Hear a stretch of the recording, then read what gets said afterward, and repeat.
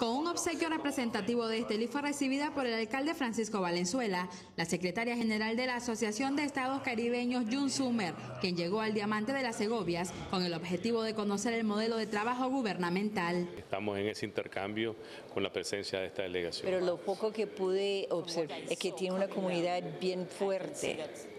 Se puede notar también la naturaleza de eh, emprenderismo del pueblo. Tras conocer las instalaciones de la alcaldía, la diplomática junto al edil conoció el Instituto Politécnico Francisco Rivera Quintero, un centro de formación técnica donde jóvenes y adultos presentaron sus experiencias.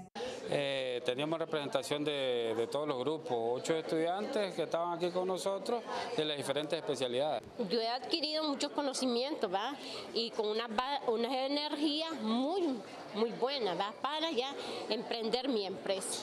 Esta experiencia de educación gratuita fue excepcional para la secretaria general de la Asociación de Estados Caribeños.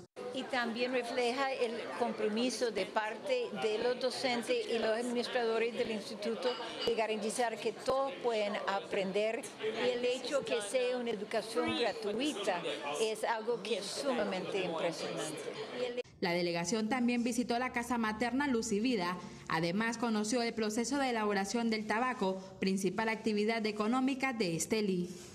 Con imágenes de Pedro Leiva les informó Helen Solís.